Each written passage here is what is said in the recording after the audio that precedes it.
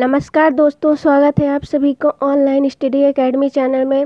और आज के इस वीडियो में हम चर्चा करते हैं मध्य प्रदेश के लोक नृत्य। तो पहला है राई नृत्य। राई नृत्य बुंदेलखंड क्षेत्र का लोक नृत्य है और ये खुशी के अवसर पर किया जाता है और इसको राष्ट्रीय स्तर पर लोक लोकप्रिय बनाने का श्रेय राम प्रकाश यादव और राम सहाय पांडे को जाता है। फिर बधाई नृत्य। बधाई नृत्य बुंदेलखंड व बघेलखंड क्षेत्र का लोक नृत्य है और ये खुशी के अवसर पर किया जाता है। मटकी नृत्य मटकी नृत्य मालवा क्षेत्र में प्रचलित लोक नृत्य है और यह एकल नृत्य है और मुख्य रूप से यह स्त्री प्रधान, स्त्री द्वारा किया जाता है। गणगौड़ निमाड़ क्षेत्र में प्रचलित लोक नृत्य है ये चैत्र माह में किया जाता है। गौर नृत्य अविभाजित मध्य प्रदेश के बस्तर ज़िले में मारिया जनजाति द्वारा जंगली पशु गौर के सींग लगाकर अच्छी वर्षा व अच्छी फ़सल के लिए किया जाता है। शहरा नृत्य बुंदेलखंड क्षेत्र में प्रचलित नृत्य है और यह कजरी तीज के अवसर पर किया जाता है और यह मुख्यतः स्त्री प्रधान नृत्य है। सैला नृत्य अविभाजित मध्य प्रदेश के सरगुजा से लगे क्षेत्रों में प्रचलित लोक नृत्य है ये। यह मुख्यतः पुरुष प्रधान नृत्य है। कर्मा नृत्य, विजयदशमी के अवसर पर मुख्यतः गोंड उराय व बैगा जनजाति के द्वारा किया जाने वाला नृत्य है। मुख्यतः आठ आठ स्त्री व पुरुषों के समूह द्वारा किया जाता है। दादरिया नृत्य, छत्तीसगढ़ से लगे क्षेत्रों में बैगा जनजाति द्वारा विजयदशमी के अवसर पर किया जाता है। इसे दशहरा नृत्य या नृत्यों का प्रवेश द्वार भी कहा जाता है। दुलदुल घोड़ी मुख्य रूप से राजस्थान का लोक नृत्य है, जो मध्य प्रदेश में राजस्थान में लगे हुए क्षेत्रों में मुख्य रूप से प्रचलित है। भगोरिया नृत्य, झाबुआ, अलीराजपुर, धार, बड़वानी आदि क्षेत्रों में प्रचलित नृत्य है। भील जनजाति द्वारा होली के अवसर पर किया जाता है। और मुख्य रूप से यह एक विवाह नृत्य है जिसमें लड़के, लड़कियाँ एक दूसरे को चुनते हैं।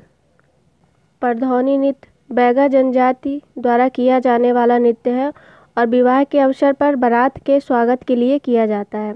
सरहुल नृत्य छत्तीसगढ़ के आसपास के क्षेत्रों में किया जाने वाला नृत्य है। मुख्यतः उराय जनजाति द्वारा किया जाता है और यह चैत्र माह की पूर्णिमा पर शाल वृक्ष के नीचे किया जाता है। आड़ा खड़ा नृत्य निमाड़ अंचल में प्रचलित लोक नृत्य है। विवाह व जन्मोत्सव के समय किया जाता है। ढीमराई नृत्य बुंदेलखंड क्षेत्र में प्रचलित लोक नृत्य है। ढीमर जाति के लोगों द्वारा किया जाता है। कांडा कांडा नृत्य बुंदेलखंड में प्रचलित लोक नृत्य है। धोबी समाज द्वारा माँ सरस्वती एवं भगवान गणेश को संबोधित नृत्य है।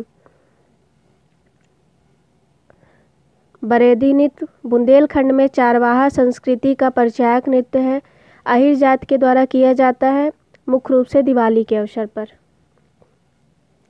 बार नृत्य कंवर आदिवासी के द्वारा किया जाने वाला नृत्य है। लहंगी नृत्य कंजर, बंजार और शहरिया जनजाति द्वारा किए जाने वाला नृत्य है। थापटी नृत्य कोरकू जनजाति के द्वारा बैसाख माह में किया जाने वाला नृत्य है। भड़म सैतम नृत्य भारिया जनजाति के द्वारा विवाह के अवसर पर किया जाने वाला नृत्य है। अटारी नृत्य कोरकू जनजाति के द्वारा किया जाने वाला नृत्य है। सुआ नृत्य बैगा जनजाति के द्वारा किया जाने वाला नृत्य है। बिल्मा नृत्य बैगा जनजाति के द्वारा किए जाने वाला नृत्य है। और आगे हम कुछ नृत्य और उनसे संबंधित क्षेत्र और आदिवासी के बारे में चर्चा करते हैं। तो गोचो, गैंडी, रीना, टीना, ये नृत्य गोड जनजाति द्वारा किया जाता है। छेरता नृत्य जो है वो मुंडिया जनजाति द्वारा किया जाता है। चटकोरा नृत्य जो है वो कोरकू जनजाति द्वारा किया जाता है। बिनाकी जो है वो भोपाल में कृषकों के द्वारा किया जाता है और रागनी नृत्य जो है वो ग्वालियर में किया जाता है। आई होप आपको हमारा आज का वीडियो पसंद आया होगा। अगर वीडियो पसंद आया है तो वीडियो को लाइक करिए और ज़्यादा से ज़्यादा लोगों में शेयर करिए और हमारे चैनल को सब्सक्राइब करिए और बेल आइकॉन ज़रूर दबाइए। Thank you.